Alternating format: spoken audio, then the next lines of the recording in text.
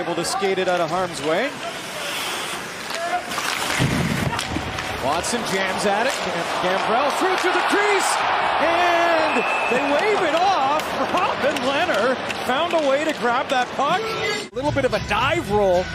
Shea Theodore tries to throw it D to D. Watson picks it up, and Martinez battling with Sanford in front of the net. And you see Leonard with the push, and he reaches out at the last second, drags it off the goal line. Watson can't believe it, but he doesn't get, because he's off balance, he doesn't get all of it and a clean